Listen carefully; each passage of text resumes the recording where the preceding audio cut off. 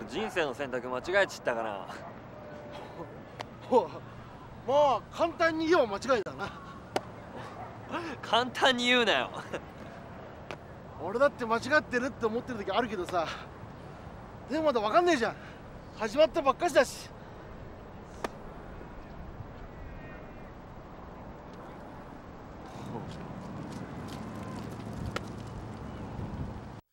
今旅立ちの日君が強くを残してきた足跡が闇の中の光となりもう果てしなき道を照らす。